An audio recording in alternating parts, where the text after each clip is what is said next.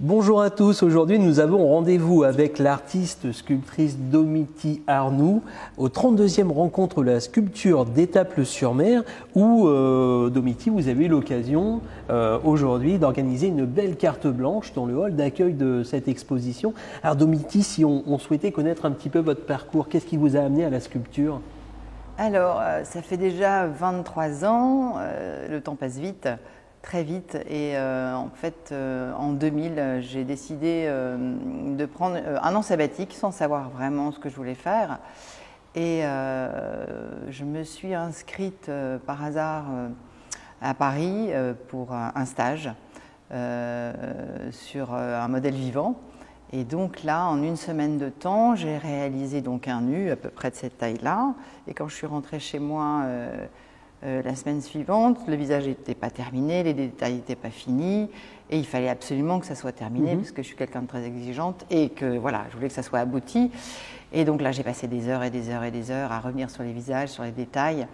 Et en fait, euh, j'ai vraiment euh, euh, peaufiné ça jusqu'au bout, et, et, je pense qu'à la fin du, du, travail, je me suis dit je pense que je suis, je pense que je suis douée. Je pense que je vais continuer. il y avait une petite lueur euh, et, la passion était née. Exactement. Là, c'était vraiment une passion euh, qui m'a dévorée et je n'ai plus fait que ça non-stop. Voilà. Donc après, je me suis fait une petite collection et je suis partie euh, exposer à Shanghai en 2004. Et là, ça a été une, une exposition vraiment euh, fabuleuse et j'ai rencontré des gens extraordinaires et voilà. Et après, j'ai poursuivi mon travail.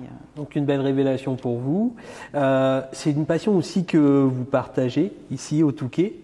Vous pouvez nous en dire un petit peu plus? Oui, oui, oui, oui. Effectivement, j'enseigne euh, aux enfants, j'enseigne aux adultes. Et c'est vrai que de permettre aux petits de découvrir la Terre, de travailler en trois dimensions, pour eux, c'est extraordinaire parce qu'ils ont une imagination dévorante et ils arrivent à créer des choses incroyables euh, petits, alors que bon, dès qu'ils commencent à apprendre. Mhm. ils ne sont pas encore formatés, donc leur imaginaire est encore euh, Exactement, ouais, ouais, ouais, là c'est vraiment, euh, c'est vraiment magique. Pour travailler avec les enfants, c'est vraiment une chance, vraiment. Alors, vous avez un style d'abord académique, par rapport au, stage que vous avez suivi. effectivement, euh, on voit que vous maîtrisez euh, le nu, euh, pour ma part à la perfection. Je, trouve vraiment magnifique, très sensuel, très très très joli. Et puis vous avez aussi un style beaucoup plus poétique, qui est désormais votre signature. Ah oui, j'aime beaucoup que vous parliez de poésie parce que c'est vraiment ce que j'ai envie de faire retranscrire au travers des sculptures et, euh, ces personnages-là sont vraiment euh, dirigés vers le ciel et je trouve que c'est euh, voilà, c'est quelque chose qui est important pour moi. Alors vous leur donnez effectivement de la hauteur, un peu comme sur des échasses. Il hein. y, y, a une volonté, quelque chose, un message derrière tout ça? Euh, je pense que j'aimerais beaucoup qu'elle soit réalisée euh, en plus grand et en monumental. Je pense que ça, c'est vraiment euh, le but. Ça prenne encore plus de hauteur. Voilà, tout à fait. Voilà, et que ça puisse permettre d'être que la sculpture puisse permettre d'être ambassadrice d'une ville euh, sur la côte d'Opale, là, ça serait mhm. vraiment un souhait. Euh. Je pense aussi que le fait de, porter le personnage sur la hauteur, ça aussi, ça accentue aussi peut-être l'expression aussi des, différents personnages. Oui, je, pense. Ouais, ouais, je pense que les gens sont très sensibles, très sensibles à ça. Ouais. En tout cas, il y a une vraie poésie qui se dégage au travers de tout ça. Je les trouve euh, franchement magnifiques. Hein. c'est un excellent travail. Et est-ce qu'il y a un, artiste qui vous a inspiré par rapport euh, à, ce, mouvement, on va dire? Oui, bien sûr. Alors euh, évidemment, Giacometti a été quand même une inspiration. à la base parce qu'il a travaillé des choses très longilines, très, très grandes et c'est vrai que ça, a été, ça a été le démarrage de mon inspiration. Après, euh, moi, je travaille quelque chose de beaucoup plus lissé, je fais l'expression des visages.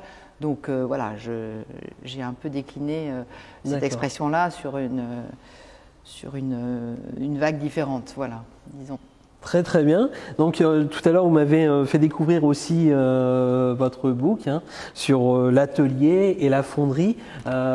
concrètement, ça prend combien de temps? C'est une réalisation Alors le temps, c'est toujours chez un artiste. Je pense que si vous lui demandez combien de temps il a mis pour réaliser la sculpture, parfois on s'amuse à compter et puis après on ne compte plus parce que on y passe tellement de temps que. Ah, il y a l'étape du modelage. Voilà, avant tout. Tout à fait. Vous travaillez avec l'argile. Voilà, tout à fait. Ça c'est mon travail à moi et ensuite j'ai cinq personnes qui travaillent à la fonderie.